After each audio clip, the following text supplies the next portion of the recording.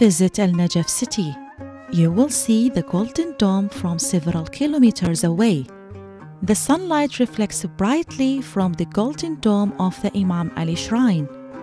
This shrine lies at the highest point of Najaf's hill, the Haydari courtyard or Al Sahan Al Haydari. The interior courtyard of the Imam Ali Shrine is called the Haydari courtyard or Al Sahan Al Haydari.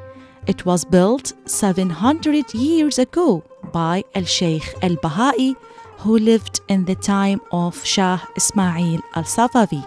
Over the years, the shrine has been damaged but never completely destroyed. The interior area of the shrine, which includes the mausoleum and the mosque, covers 5,000 square meters. The total area of the shrine and the courtyard is 15,000 square meters. There is a plan to be implemented soon to expand the shrine by 120 square meters on each side of the outer wall, which will make the total area of the shrine 50,000 square meters. The second courtyard wall will be built without destroying any part of the current wall, and the area between the two walls will be roofed, leading to more open space. The dome of the shrine used to be painted with the blue porcelain tiles, and then it was gold plated at the end of the Safavi era. The director of the Shiite endowment said, we refurbish the golden plates that cover the dome every 30 years and it needs 200 kilograms of 24 karat pure gold. There are five doors leading to the Haidari courtyard the Qibla door facing Mecca, the big market door, the Al Umara door, the Al Tusi door, and the small Al Abayachi door. That last door opens to the market of abaya makers, which is close to the Al Khadra Mosque, which is the mosque of the late Shiite leader Abul Qasim al Khou'i. The five entrances to the shrine lead directly to a large and unroofed courtyard surrounded by chambers called awawin, which are adorned with colored and glazed mosaics distributed over two stories. Mosaics come from Iraq's ancient Babylonian civilization, which decorated the Ishtar Gate and the procession street with mythical animal forms made from blue glazed tiles, which are still standing in the Berlin Museum. The mosaic decorations of the Imam Ali shrine depict plants and flowers. Families come to this courtyard from all over Iraq and foreign countries and stay as long as possible, eating their lunch and their dinner there or in the rooms surrounding this courtyard. Most of the Awawin chambers are used as offices or rooms for the shrine staff, and the courtyard is also used for prayer.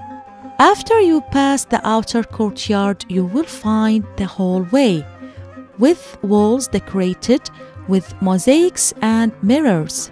The mausoleum of Imam Ali is decorated with gold and silver, and visitors put money in its window as donations or to fulfill vows. The director of the Shiite endowment estimates that visitors give about 100 million dinars per month, increasing to nearly half a billion dinars per month during religious occasions. The money is allocated to the director of the shrine staff. He divides the money into shrine maintenance and salaries for the employees, and the rest of the money goes to poor families.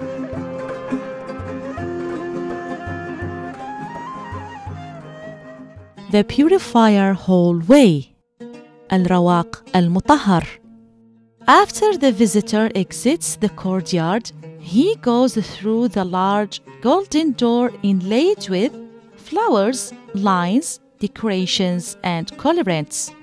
Then enters the center of the rectangular hallway surrounding the Imam's tomb.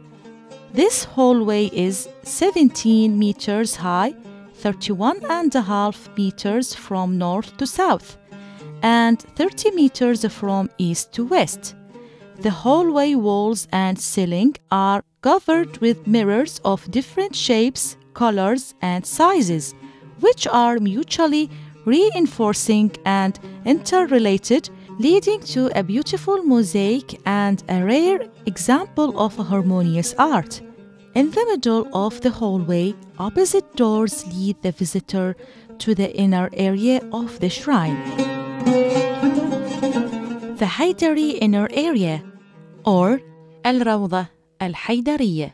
The inner area of the shrine is square with a height of 17 meters and a width of 13 meters on each side. Its walls are decorated with colored mirrors and mosaics with complementary patterns. The ground is furnished with glazed marble, and the walls glitter with colored marble above eye level. When the visitor takes his first step inside, he is astonished with the glitter of the colorful interior mirrors with asymmetric geometric shapes that continue until you reach the four golden doors, each one of them inlaid with enamel, two of them from the eastern side and two from the northern side. In the middle area of the holy shrine lies the grave of Imam Ali, surrounded by a gorgeous latticework window containing 10 kilograms of pure gold and thousands of kilograms of pure silver. This window was ordered by the Kajari king. At the top of each side of the window is a group of golden lamps, and there are four golden knobs in every corner of the pillars of the window. At the top of the window is written the famous poetry of Ibn Abil Hadid al Mu'tazili commenting on Imam Ali's book, The Rhetoric Approach, or Nahj al Balagha. This writing is punctuated by the names of the 12 Imams. From the domed ceiling above the grave window is a gold chandelier hanging from a gold chain both of them made from pure gold studded with precious stones, such as the rare large diamond which has impressed merchants and thieves throughout history.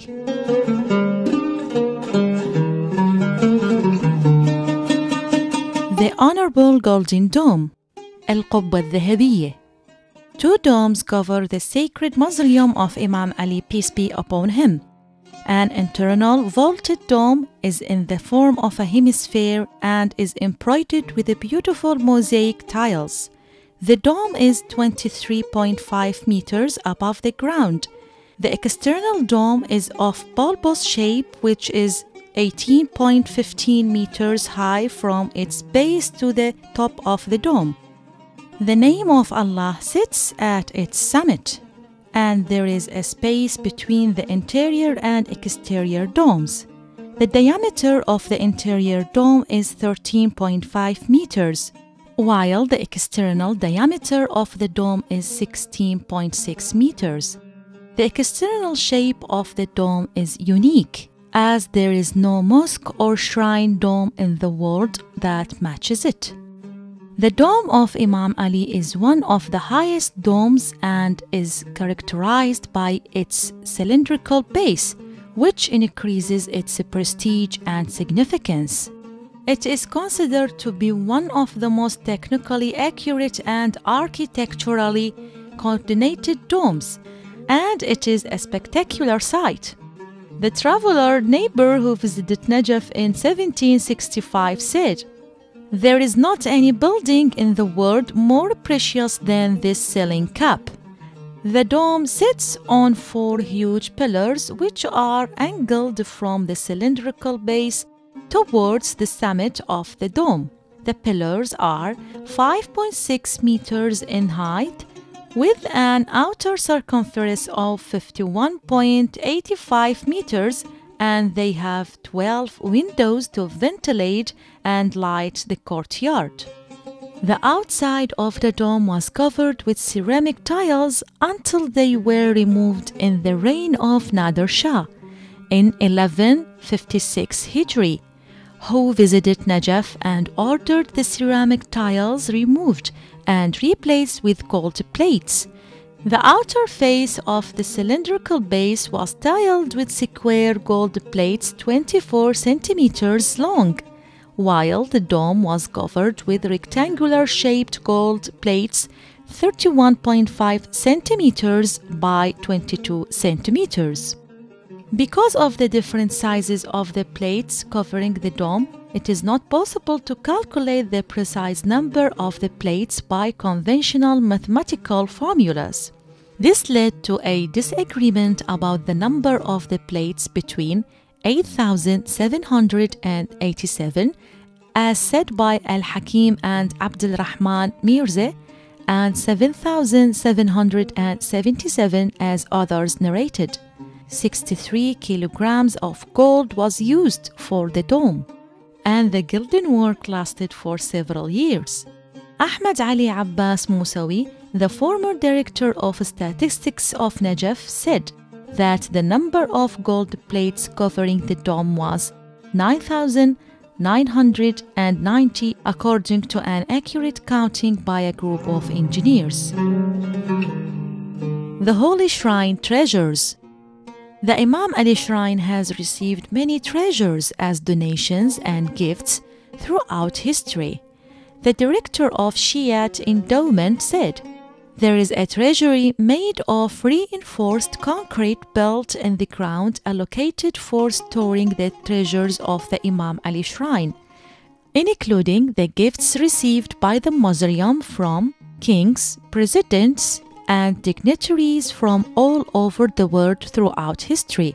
This is in addition to the treasures found near the tomb of Imam Ali and the treasures in the Shrine Museum.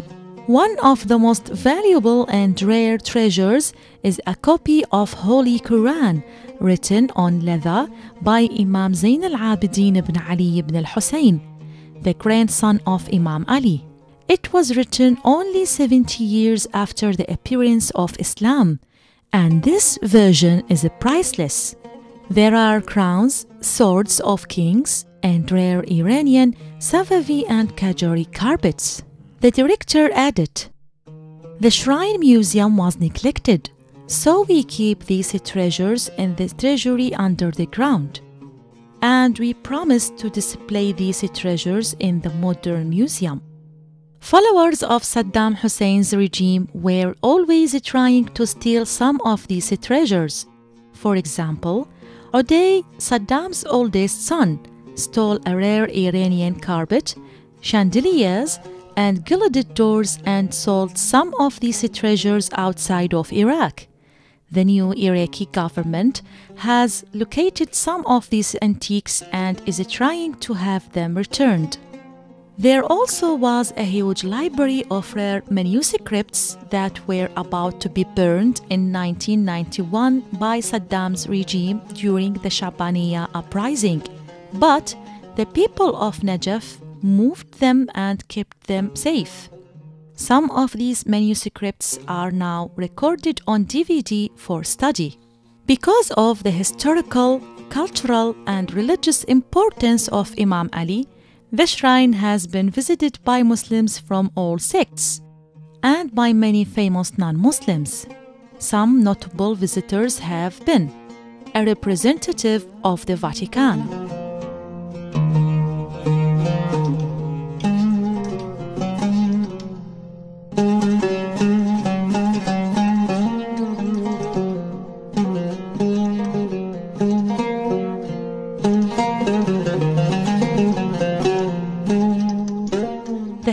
The Catholic Church in Iraq, the Cardinal Emmanuel Delly.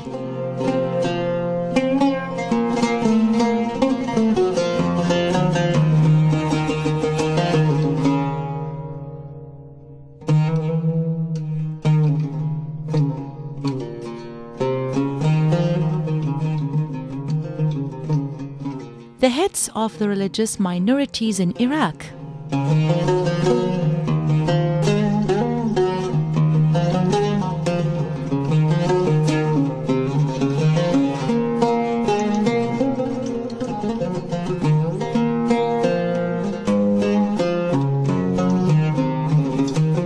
Delegation of Russian universities.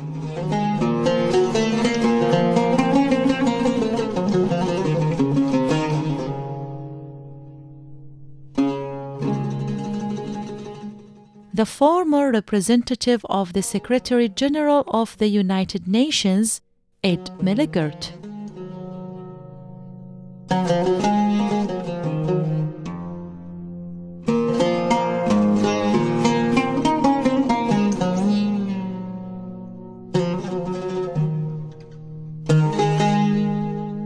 The former representative of the Secretary General of the United Nations, de Mistura.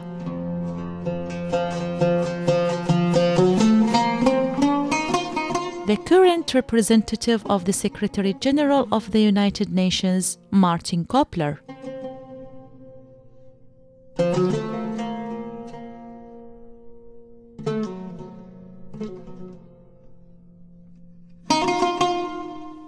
The Turkish Prime Minister Recep Tayyip Erdogan.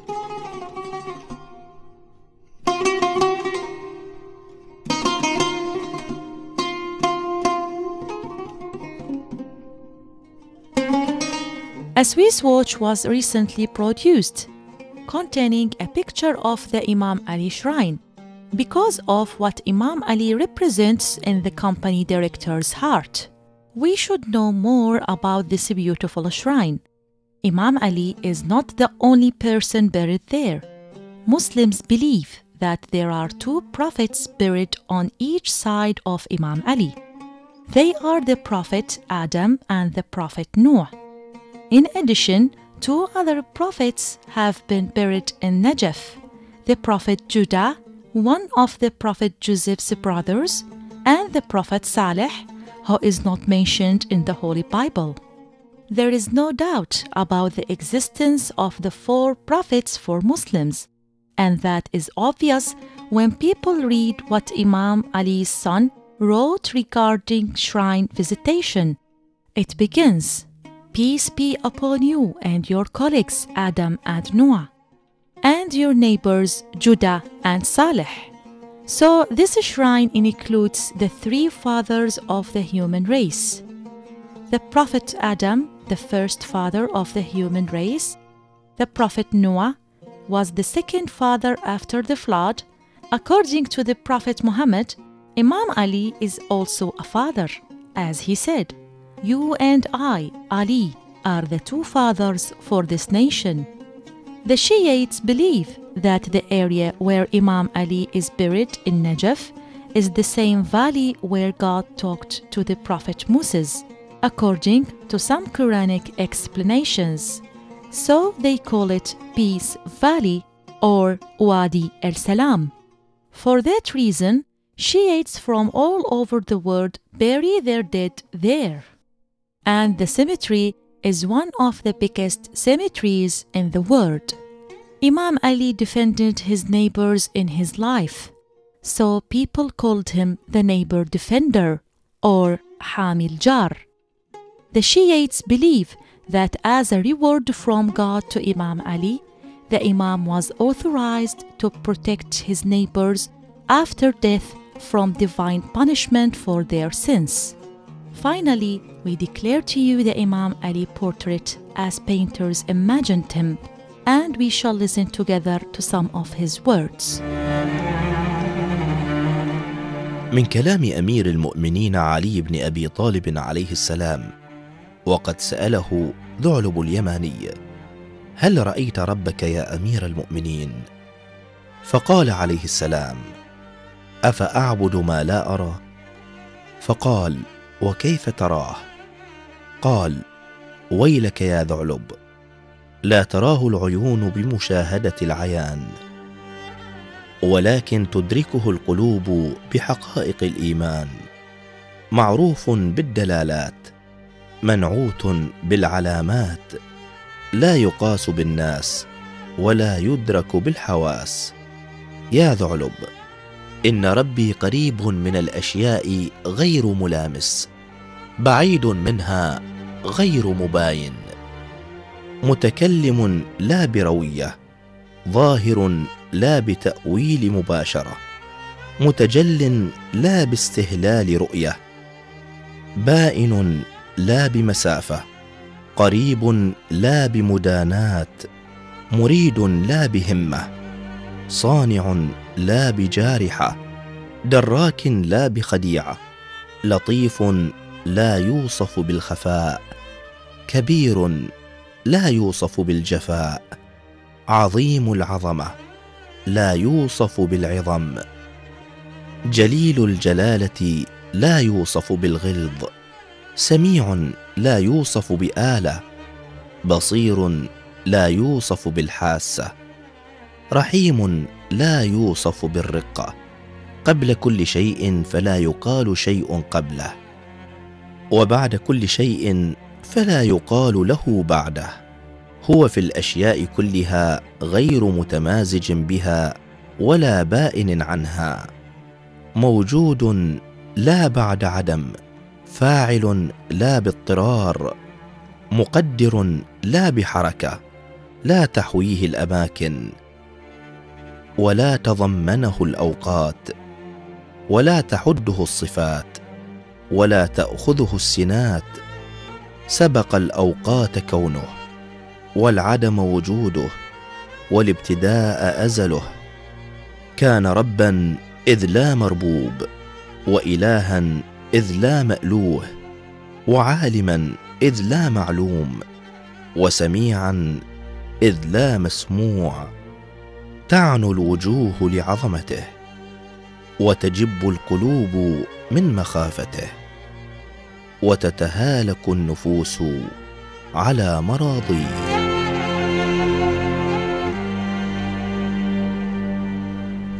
أسأل وريد جواب لي منه الصبح حجة ولي. والنوب اريد أسأل بعد بمن شدتكم تنجلي.